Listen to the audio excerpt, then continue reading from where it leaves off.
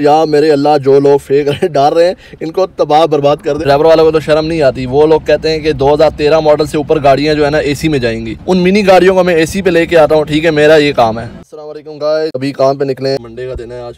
और अभी एक छत्तीस हो रहा है। मैं तकरीबन एक बजे से बैठा हूँ। मुझे कोई राइड अच्छी नहीं मिल रही यहाँ बैरिया में। बैरिया फ़ेज़ एट से। काम तो वैसे है नहीं। अभी तो काम करने का वैसे फ़ायदा नहीं है। ज़रा दूसरी भी ऐसी दूर से आ रही है। राइडें नहीं है। अच्छा गाइस बड़ी मुश्किल से अभी राइड मिली है। बारह किलोमीटर की राइड है, शिफा हॉस्पिटल मिली चेक करें। इसको लेके जाना है, अलशिफा आई ट्रस्ट हॉस्पिटल ठीक है? छः सौ रुपये की राइड है। मैं कस्टमर की लोकेशन पे आ गई हूँ गाइस और असल में ड्राइवर बहुत ज़्यादा बहुत ज़्यादा गाड़ी है, ठीक है? राइड आती है, ऐसे ही आती है ना कि आपको मैंने पहले ही बताया, आपको मैं दिखाया भी है कि एक राइड आएगी, ठीक है? सिर्फ़ एक आएगी। फिर उसके बाद वो आएगी अगली राइड पाँच मिनट बाद, ठीक है, या दस मिनट बाद आएगी। इस तरह राइड आती है। ये बड़ी फनी चीज़ है, एक बंदे ने जो है ना रिक्वेस्ट डाली हुई ड्राइवर ने, ठीक है? इसमें लिखा, या मेरे अल्लाह जो लोग फेक राइड डाल रहे हैं, इनको तबाह बर्बाद कर दे। क्योंकि यहाँ पे फेक राइडें बहुत डाल रहे हैं ना आजकल ड्राइवर जो है।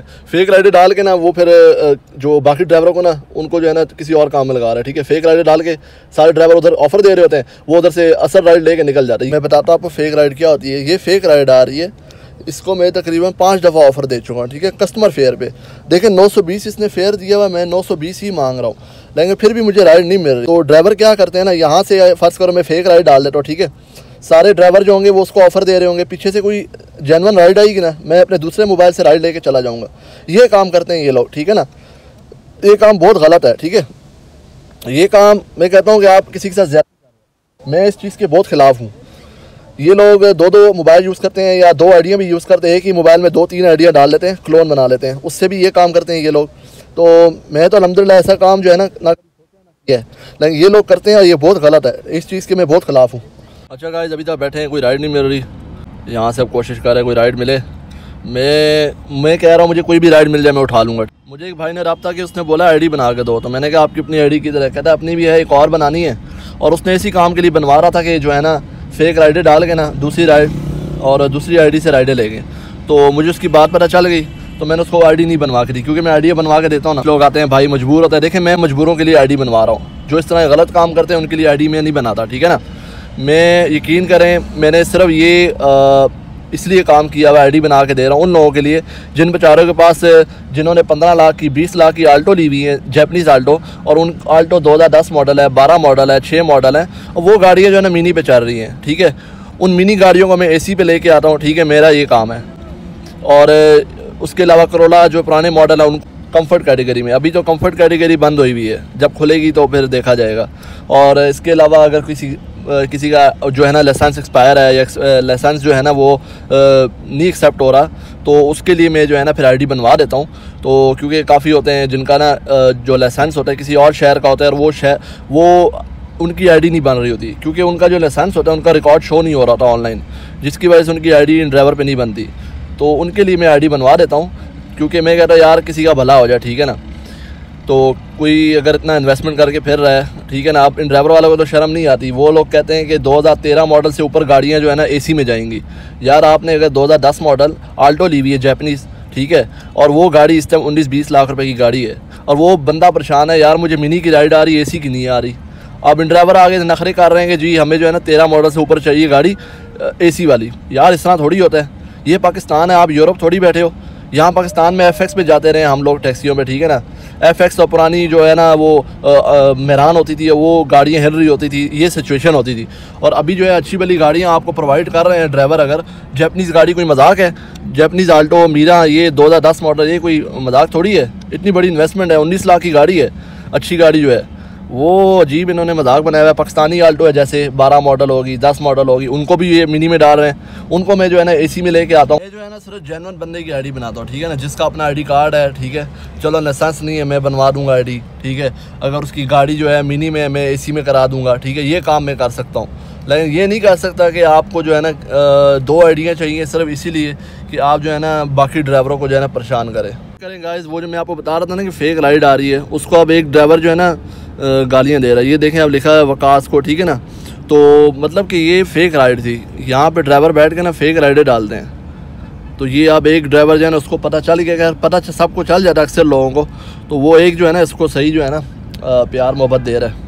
अच्छा गाइज़ राइड मुझे मिल गई है और इनको लेके जाना है फौजी फाउंडेशन हॉस्पिटल से लेके जाना है। मैं आपको चेक कराता हूँ राइड ये चेक करें राइड इसको फौजी फाउंडेशन हॉस्पिटल से लेके जाना है जी, सदर लेके जाना है। और ये राइड है, ठीक है?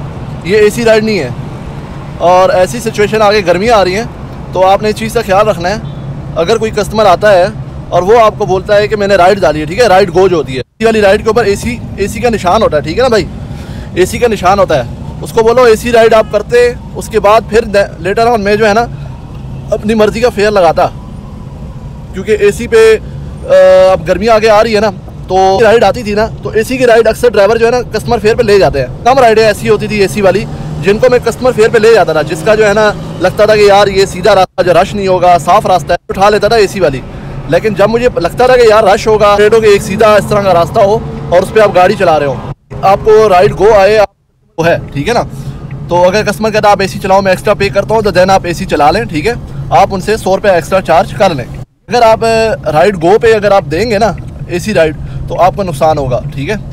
क्योंकि राइड गो और राइड एसी के जो फेयर में जो फ़र्क आता है ना, वो ज़्यादा नहीं आता। आता पचास रुपये का। लेकिन, मैं जो हूँ राइड एसी जब आती है तो मैं वैसे नहीं हर राइड को कस्टमर फेयर पे लेके जाता, क्योंकि मुझे पता है एसी चलेगा। आगे फिर ट्रैफ़िक किस हिसाब की है।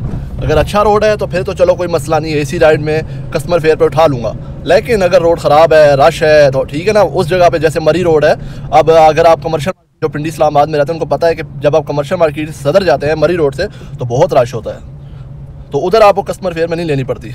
गाइस फौजी फाउंडेशन हॉस्पिटल में आ गए हैं, और ये चेक करें, मैंने अभी कस्टमर को जो है अपना मोबाइल नंबर भेज दिया उसको बोल दिए और उसके बाद मैं बोल दी कि मैं आपकी लोकेशन पे आ गया हूँ, ठीक है?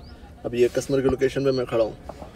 अभी कस्टमर का वेट कर रहे हैं। आज मैं रेलवे स्टेशन में राइड ड्रॉप कर दी है, और अभी वेट कर रहे हैं नेक्स्ट राइड का। ये देखें ना गाइज़ आपसे आपने जाना है बैरिया फ़ेज़ एट अभी मैं बैरिया फ़ेज़ एट से आया हूँ, ठीक है?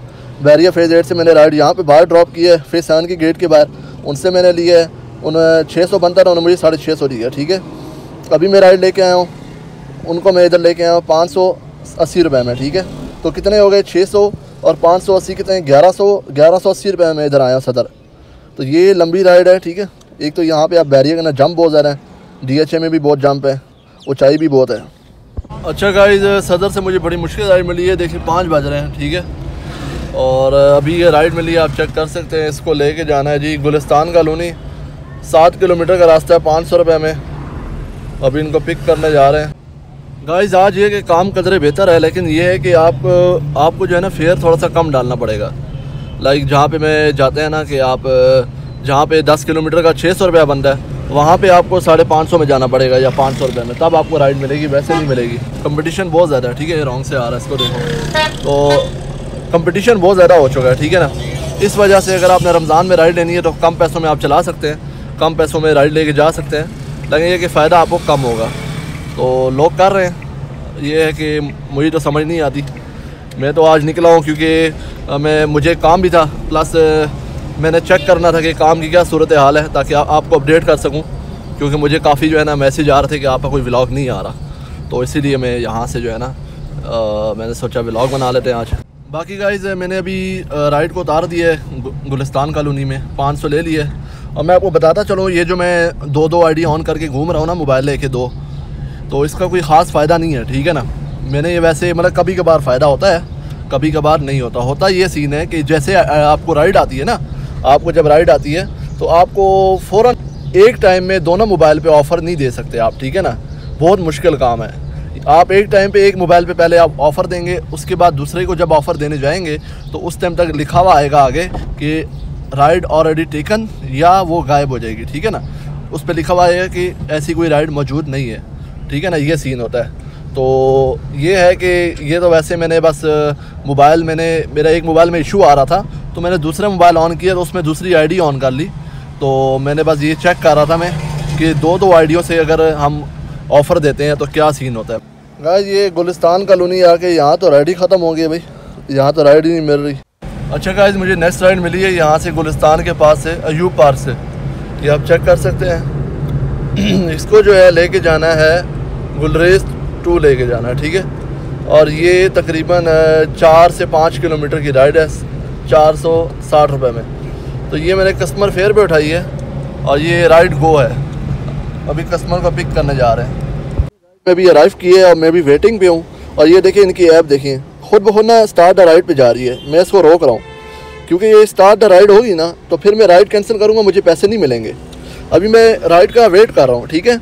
अभी मैं राइड का वेट कर रहा हूँ और मैंने सिर्फ़ अभी अराइव किया है। अभी आई एम हेयर और ये जो अभी ड्राइवर देखें, ये खुद ब खुद अब चल रहा है। ये अगर पूरा हो गया ना तो फिर ये चीज़ नहीं होगी। फिर आपको रिफ़ंड नहीं होगा, आपका जो है ना कमीशन वो आपको रिफ़ंड नहीं होगा।